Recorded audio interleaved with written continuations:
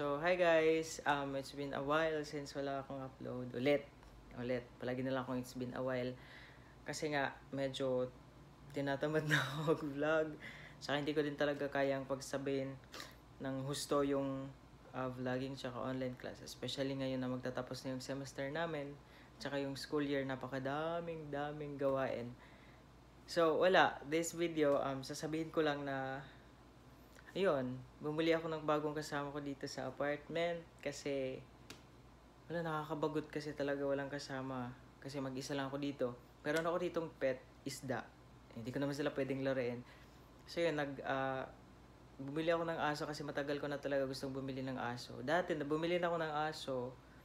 Um, kaso, malaki siya. Uh, malaking type siya na aso. Parang uh, Labrador yung lahi niya. So, maliit lang naman, medyo maliit lang itong apartment ko. So, inuwi ko siya sa amin. And then, after that, nag-alaga ulit ako ng rabbit. So, okay naman yung rabbit. Nag-rabbit ako dito yung white. Tapos, nang nagka-pandemic, um, inuwi ko siya sa amin.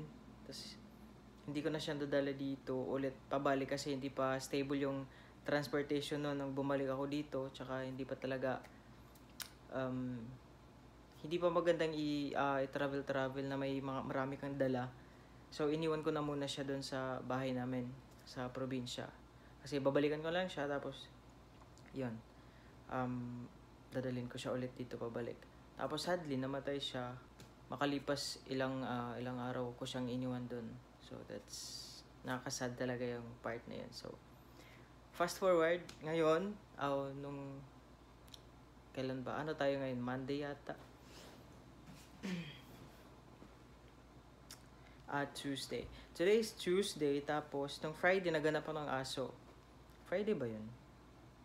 No, Tuesday, uh, Thursday, Thursday.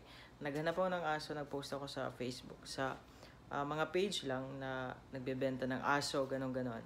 So, yun, naghanap ako ng aso, yung maliit lang na type. Yung hinahanap ko actually sana yung Shih Tzu na parang teacup lang na maliit. So, madaming nag-send sa akin ng offer. Tapos may nagustuhan ako isa. Uh, Shih Tzu din siya, pero standard type.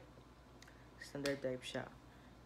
So, yun. Kinuha ko siya. Binili ko siya. Tapos, dinala siya sa akin Saturday. I know. I think Sunday. So, yeah, Sunday.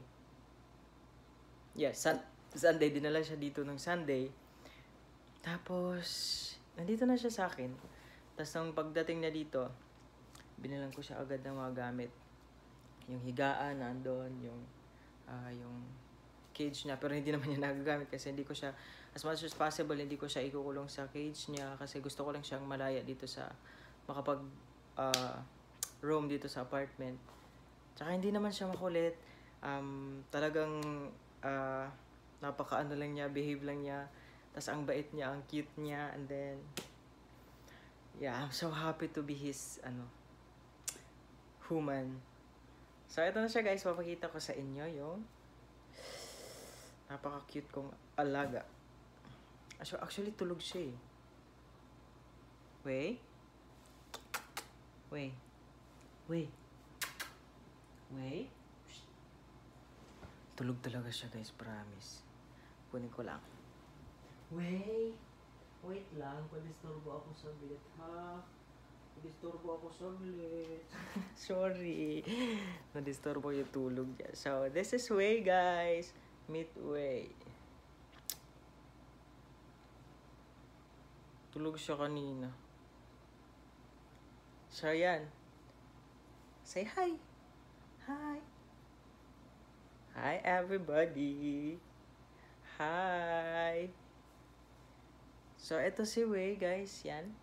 Male siya. Male kasi gusto ko yung male para uh, ayoko si dumami. So, say hi. Hi. Say hi. Namin naantok pa talaga siya. Inaantok. Palagi ka na lang tulog. Palagi ka na lang tulog. Tulog, tulog ko lagi. Tulog, tulog ko lagi. Yan. When I say na talagang sweet at saka malambing siya, napaka-cute niya Totoo yun, promise. Tapos, every time na sana ako magpunta dito kahit sa banyo talaga, sumusunod siya sa akin, sa totoo lang. nagbabantay siya doon sa pinto. Tsaka kahit doon lang ako sa, doon lang ako magpunta sa kusina, sinusundan niya din ako. Mm. So, by the way, yung name niya guys is, is, what? I am? Introduce yourself. yung pinangalan ko sa kanya is, uh, Wei. W, um, E-I. Actually, Chinese name siya. Na kinuha ko din sa name ni ni ni ni ni ni nito ni Wei Ying.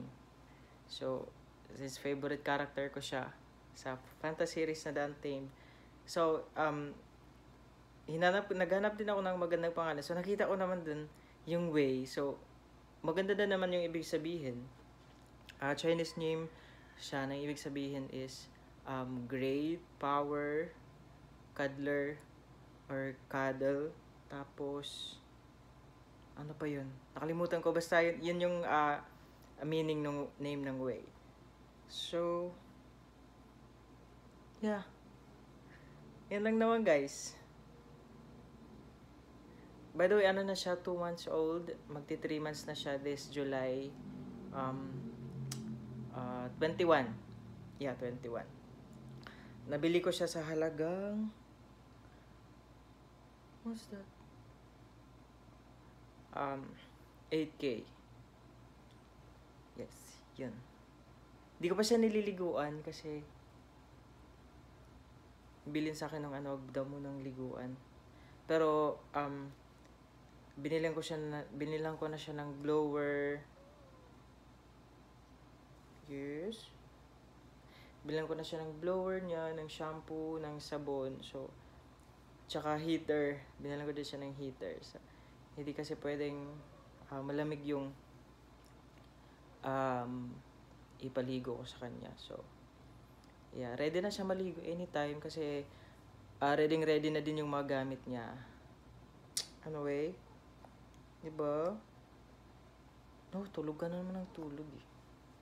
Kasi kanina kalalaro lang niya. Naglaro kami kanina. Kaya pagod to. Ano? So, that's it guys. Say hi. Hi. Para siyang labrador pag ganyan, no? Para akong labrador dito. Parang labrador. Parang labrador. So, yeah, that's it guys for this video. And, yeah.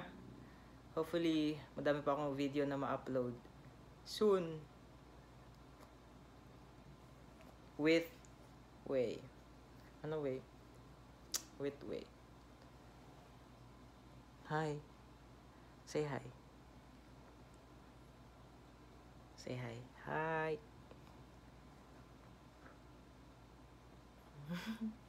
Wala, tulog talaga siya. So, yun lang guys. Gusto lang ipakita sa inyo yung bagong baby ko. Mga kasama ko dito. So, yeah. Sabihin mo sa kanila, see you on our next video. Okay, so see you in our next video, guys. Bye-bye. Bye-bye, bye-bye, bye-bye. Bye-bye. Bye-bye. Bye-bye. Mm. Yun lang, guys. Bye-bye. Mag-upload ba ako ng ibang video kasama si Wei? In the future, sana. Kisses for everyone. Bye-bye. Bye. Mwah. Mwah. Bye-bye. Bye-bye, guys. Bye-bye, bye-bye, bye-bye.